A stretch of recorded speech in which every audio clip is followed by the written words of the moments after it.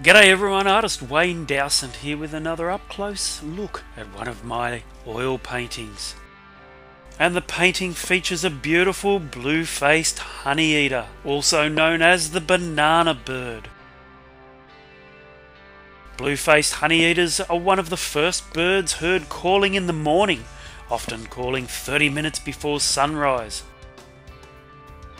It's an oil on canvas painting measuring 700mm by 350mm. Of course, as an artist, it was always going to be fun painting a beautiful coloured bird like the honey eater. Gorgeous feather colourings of vibrant black, white, gold, and olive green, with that striking blue skin around the yellow eye. That's my original oil on canvas painting called Old Blue Eyes. I'm artist Wayne Dowsent and thanks for watching everyone.